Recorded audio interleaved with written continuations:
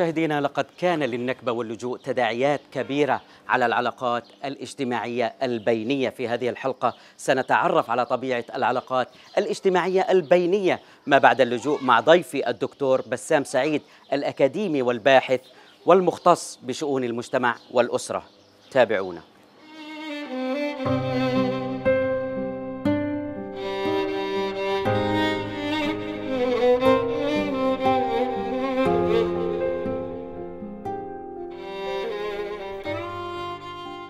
تحياتنا دكتور يعطيك العافية. أهلا وسهلا فيك. دكتور يعني إحنا برنامج عائدون. هذا البرنامج الذي يتناول هموم وقضايا وآمال وطموحات اللاجئ الفلسطيني. يعني قبل الحديث عن موضوع العلاقات الاجتماعية البينية ما بعد اللجوء دعنا نتحدث بالبداية عن تأثيرات وتداعيات النكبة على القرى والمدن الفلسطينية وعلى اللاجئ الفلسطيني.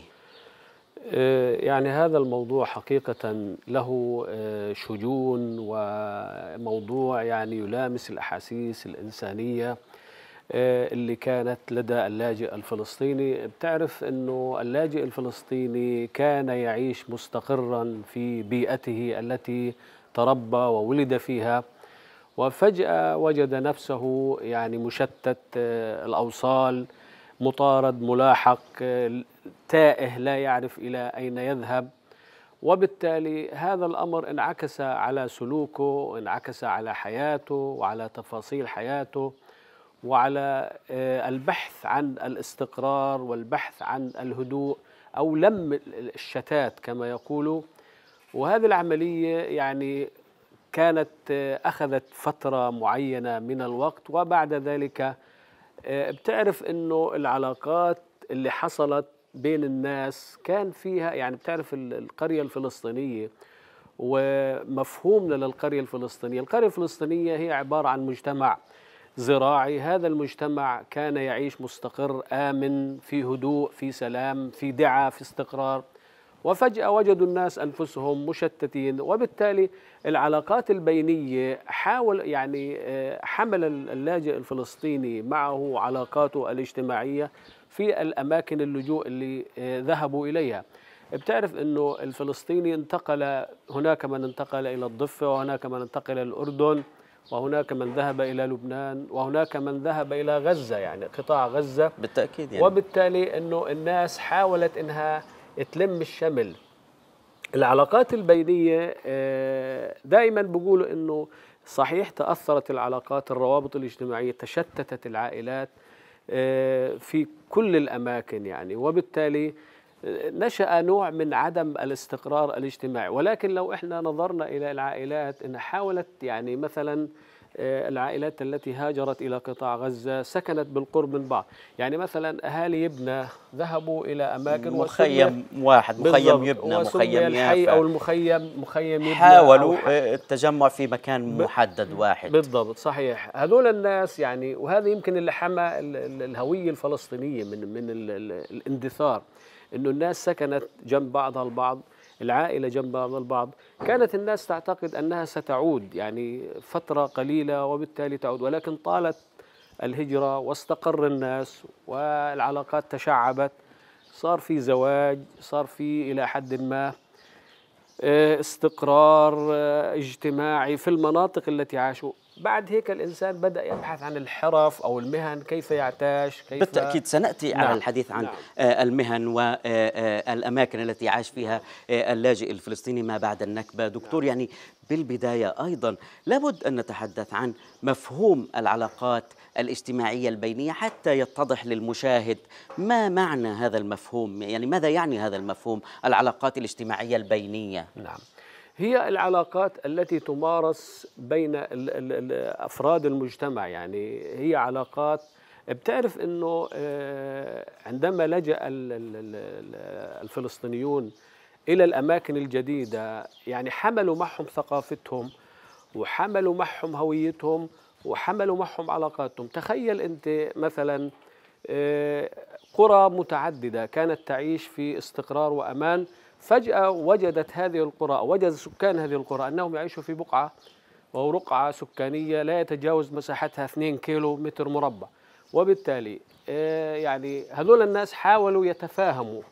يجدوا قاسم مشترك. فالعلاقات البينية هي كيفية التعايش كيفية التواصل وهي كيفية تعني أن العلاقة التوافق. ما بين الشخص والآخر اللاجئ بين. والآخر العلاقة. ما بين الآخرين. العلاقة هذه العلاقة الاجتماعية. نعم نعم. علاقة مصاهرة علاقة زواج علاقة تفاهم يعني لغة اجتماعية مشتركة. الناس كانت يعني تحاول أن تنسجها حتى تستطيع أن تتأقلم أو تتعايش أو تتوافق أو تمشي الحياة. اللي وجدوا الناس نفس نفسهم فجأة في هذا المكان. بتعرف أنه مثلا كل قرية كان لها يعني عادات سماتها وعاداتها. أو عادات يعني هو إحنا مجتمع في النهاية العادات متجانس يعني. متجانسة إلى حد ما. ولكن في هناك نوع من الاختلاف في اللهجة في الثقافة في نمط التفكير في في العادات طريقة ال- والتقاليد، بالضبط في العادات والتقاليد. حتى في التراث و... في. والمأكولات يعني. ولكن يعني ال- الإنسان الفلسطيني أو اللاجئ الفلسطيني آه، من ميزته إنه استطاع أن يتكيف مع سنوات ال ال ال ال القهر وسنوات التشرد بإيجاد نسيج آه، اجتماعي مترابط متكاتف. يعني حاول حتى الاحتلال الإسرائيلي يلعب على هذه القصة فرق تسد. ولكن يعني العقلاء في المجتمع والمفكرين والمثقفين والناس قادوا هذا المجتمع إلى الاستقرار حتى هذه اللحظة. وإن كان في هناك بعض الاختلافات الاجتماعية. دكتور يعني بالحديث عن هذه آه، آه، آه، التي سعى للاحتلال إلى إشعال فتيل نزعة المواطن واللاجئ والى اخره، يعني كيف استقبل المواطنون في آه، آه، المدن والقرى الفلسطينية بأراضي عام 67 اللاجئين الذين هجروا إلى آه، هذه القرى والمدن. يعني كان هناك علاقة وطيدة ومتينة. حاول الاحتلال يعني آه، آه، إشعال آه، نزاع ما بين المواطن واللاجئ ولكنه فشل بدليل أننا موجودون هنا. وفي كل أماكن تواجد اللاجئين الفلسطينيين مع المواطنين الأصليين سكان هذه المدن. وكلنا في النهاية فلسطينيون. يعني هناك كمان أيضا قصص وتجارب رويت لهؤلاء الأشخاص وعن هذه العلاقة. نعم. شوف آه، هو في البدايات يعني آه، أي مجتمع يأتي من مجتمع آخر إلى مجتمع جديد يمكن بتكون الناس لا تعرف بعضها البعض. في اختلاف في ال- ال- نمط التفكير نمط العادات نمط التقاليد. ولكن عندما جاء. اللاجئون الفلسطينيون إلى هذا هذه التجمعات السكانية الجديدة احتوى الجميع انصهر الجميع. في بوتقة واحدة ويمكن وحدتها المعاناة بالتأكيد. يعني وبنعرف إنه آه، سكان غزة مثلا كانوا يذهبوا إلى الشمال إلى القرى الفلسطينية يتسوقوا يتبضعوا آه، في هناك من يذهب إلى المراعي لأنه بتعرف مناطق الشمال مناطق خصبة وبالتالي كان في هناك نوع من عمليه الهجرة الداخلية. والتجاره أيضا وأنا بعرف مثلا في بعض الناس اللي كانوا ساكنين في غزة كانوا يذهبوا إلى الشمال إلى حيث القرى وعندما حدثت النكبة يعني توجه هؤلاء اللي كانوا ساكنين في الشمال إلى سكان قطاع غزة وسكنوا لديهم آه، عاشوا معهم فترة زمنية إلى أن جاءت وكالة الغوث. آه، طبعا بتعرف ال- ال- اللاجئ والمواطن لا يعني هذه القضية ما كانت موجودة مطلقا لأنه الناس في النهاية وحدتهم المعاناة. حتى المواطن اللي ساكن في قطاع غزة والذي لجأ إليه اللاجئ الفلسطيني. آه، هو نفسه يعاني وذاق نفس ال- ال- بالضبط. تحت الاحتلال الإسرائيلي يعني. وبالتالي لا مجال للفرقة لا مجال للقسمة لا مجال إلى أنه إحنا نختلف. آه، في صار في معاملات. يمكن في البداية ما كانوا الناس بيعرفوا بعضهم البعض. في المصاهرة وفي الزواج وفي العلاقات الاجتماعية. إلى أن يعني بتعرف امتد الزمن تداخلت العلاقات تداخلت العلاقات المصاهرة ما بين يعني آه، تخيل- آه، ال- الكل الفلسطيني يعني نعم. أنا أذكر أنه والدك كان أحد نعم. هؤلاء الأشخاص الذين كانوا جدي- جدي، جدك صحيح، كانوا صحيح، يزورون صحيح، آه، صحيح. القرى نعم. والمدن الفلسطينية ما قبل صحيح. النكبة نعم. وجاء إلى غزة وهناك قصة نعم. يعني حبذا لو تروي لنا هذه القصة. يعني أنا أنا بتذكر إنه جدي روى لي إنه يعني كان يذهب إلى الشمال يعني بتعرف كان الناس بيشتغلوا في المراعي والرعي وكانوا يذهبوا إلى هناك في الشمال. وعندما حدثت النكبة الناس اللي كان بروع عندهم كانوا يستضيفوه هناك بحثوا عن جدي وجاءوا إلى جدي وسكنوا مع جدي فترة طويلة لأنه بتعرف الناس اللي أجت ما كانت بتعرف حدا في هذا المكان. لأنه اللي حدث للأمانة كارثي. تخيل يعني أنه عائلة تكون مستقرة أو عائلات أو عوائل تكون مستقرة في بيوتها وبالتالي تجد نفسها مشتتة مطرودة يعني مش عارفة وين تروح إلى أين تذهب. هناك من يساعد. تعرف أنه ميزة المجتمع الفلسطيني أنه وخاصة هذه تحدثت عنها حتى المدارس الاجتماعية بتقول إذا حدث انقسام أو حدث شرخ في الأنساق كلها تتداعى.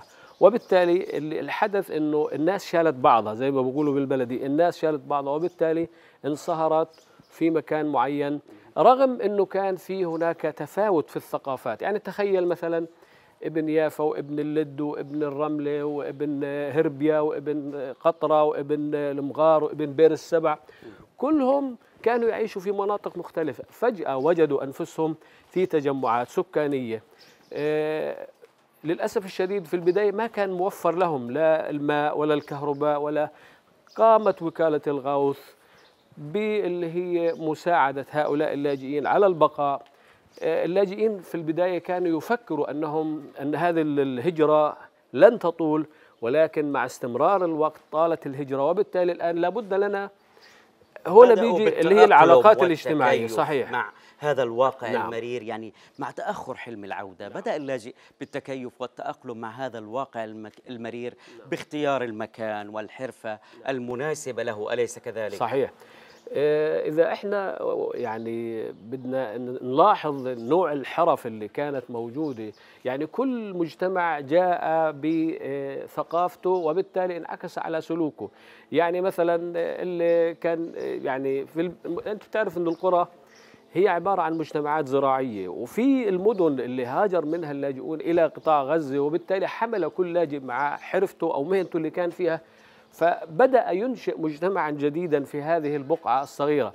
يعني اللي اشتغل في الخضرة اللي اشتغل في البقاله اللي اشتغل يعني اللي بيعمل فلافل اللي بيعمل فول اللي يعني أهل يافا يعني مشهورين بالصيد آه، آه، توجهوا إلى آه، ناحية الشاطئ. صحيح. يعني وأهل الجورة مثلا راحوا يعني سكنوا بجوار البحر وسكنوا عند عائلات. أنا بعرف يعني نماذج إنهم أجوا هذا بدل على إنه متانة العائلات. يعني سكنوا بجوار العائلات التي كانت تعيش بجانب شاطئ البحر لأنه ما بيعرفوا إلا هذه المهنة حرفة الصيد.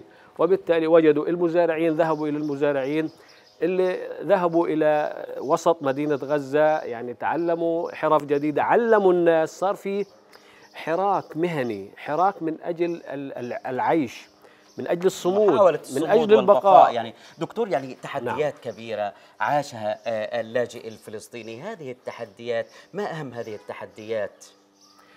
آه، شوف أول شيء اللي هو التحديات التي واجهها المجتمع الفلسطيني بعد هذا الذي حد كارثة اللي هو كيف نحافظ على الأسرة. القضية الثانية كيف نحافظ على البقاء كيف نحافظ على الصمود. القضية الثالثة آه، بتعرفوا إنه المجتمع الفلسطيني أنا يعني هذه ميزة واتجه إلى التعليم. واعتبر اللاجئ الفلسطيني أن التعليم بمثابة آه، اللي هو خلاص فردي له من الفقر والمعاناة اللي كان بعيشها. وبالتالي صار في الحراك المهني تجاه التعليم لجأت العائلات إلى تعليم أبنائها حتى إنه اللاجئ الفلسطيني صار بعد هيك يخرجوا إلى خارج فلسطين إلى الدول العربية المجاورة. فصار في هناك آه، دخل فبدأت أوضاع الناس تتحسن. تعرف إن الناس اللي بيعرفوا بعض سكنوا بجوار بعض حتى يستمروا. حتى يستمدوا القوة من بعضهم البعض تعرف هذا إحنا بنسميه المشاركة الوجدانية. بالتأكيد دكتور كثيرة هي التحديات والصعاب التي واجهت اللاجئين الفلسطينيين ولكنها شكلت حافزا مهما وقويا من أجل فكرة الصمود والتحدي والبقاء على هذه الأرض. إلى حين العودة مشاهدينا مستمرون معكم لمعرفة المزيد من التفاصيل حول العلاقات الاجتماعية البينية ما بعد اللجوء ولكن بعد هذا الفاصل.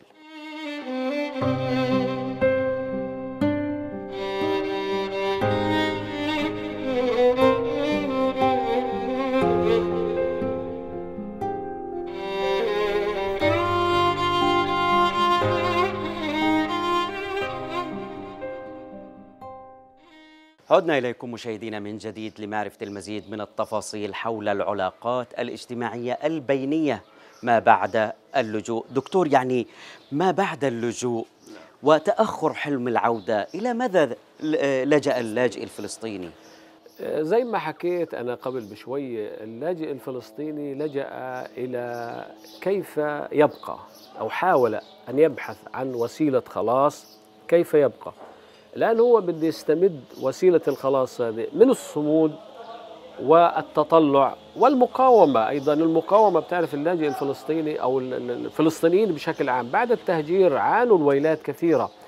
الآن اللي دفع اللاجئ الفلسطيني إلى أنه يستمر في البقاء ويستمر في الصمود آه، فلجأ اللاجئ الفلسطيني إلى يعني البحث عن وسائل الخلاص الجمعي والفردي وكيف يحافظ على هويته الوطنية وكيف يعني يجترع الوسائل أو الأحداث أو الوسائل التي تساعده على الصمود. فأول شيء لجأ إلى اللي هي نقل المهن اللي كان هو عايش فيها حتى يستطيع أن يعيش. القضية الثانية يمكن اللي اهتم فيها القضية المركزية اللي قضية التعليم. اللاجئ الفلسطيني بحث عن التعليم زي ما حكينا قبل بشوي كوسيلة للخلاص الجمعي والفردي من المعاناة. وهي التعليم اعتبرناه إحنا وسيلة للحراك الاجتماعي أو الحراك المهني حتى يستطيع الإنسان أن يعيش ويصمد في هذه الأرض. اجتماعيا حاولت العائلات يعني زي ما قلنا إنه آه، نقل مهنها إلى المناطق التجمعات الجديدة وبالتالي أصبح في نوع من يعني دارت آه، يعني الحياة بالمفهوم الجديد وصار في نوع من اللي هي التبادل التبادل السلعي وبين الناس مع بعض بدأت الناس تعرف تندمج سلع جديدة ومهن جديدة وحرف جديدة. يمكن اللاجئين أفادوا أهل قطاع غزة بما حملوه آه، من ثقافة جديدة ومن حرف أو آه، وسائل عيش جديدة. وصارت الحياة يعني حتى هذه اللحظة. ولكن لو إحنا تتبعنا الحياة لوجدنا أنه دائما الفلسطيني يبحث عن تحسين مجتمعه أو تحسين حياته آه، بوسائل متعددة ولكن على رأسها التعليم وعلى رأسها اللي هو أيضا المحافظة على الهوية. وبتعرف اللاجئ الفلسطيني ورث أبنائه يعني الجيل الأول يمكن توفاه الله الجيل الثاني والجيل الثالث حتى الجيل الرابع الحالي وهذا يعني ما كنت يعني أتطرق له. التفاصيل. يعني نعم. هل هناك اختلاف ما بين نعم. أجيال الهجرة آه، المختلفة؟ وما طبيعة هذا الاختلاف؟ آه، يمكن هو الاختلاف في المعاناة. يعني الجيل الأول ذاق معاناة كان شاهد عيان على ما حدث من ويلات مجازر ومجازر قبل العصابات نعم الصهيونية. نعم. آه هذا الجيل عاش يعني فترة صعبة. حتى نفسيا حاول أن يتغلب عليها وتغلب عليها ولذلك نقل الجيل الأول آه، ما حدث وكان شاهد عيان. الرواية الفلسطينية مستمرة متناقلة من الأجيال من الكبار حتى الصغار إنه المعاناة يعني آه، تخلق اللي هي نوع من اللي هو البحث عن التحرر. تأكيد.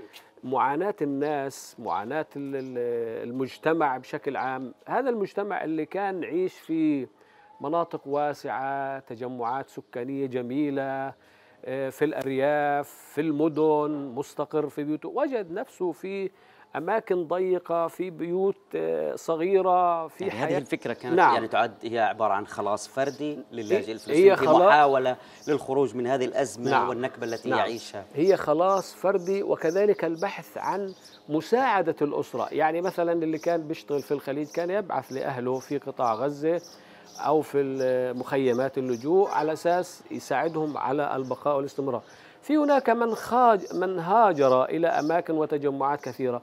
ولكن يعني إحنا بنقول وهذا الأمر يعني نلمسه حتى هذه اللحظة. وبعد سنوات الغربة وبعد المريرة. سنوات التهجير الطويلة إنه حتى الفلسطيني المقيم في أستراليا أو في كندا أو في أمريكا أو في دول العالم كله لا ينسى وطنه الأصلي وينقل تراثه وينقل بيئته الاجتماعية الجديدة إلى أماكن التجمعات الجديدة.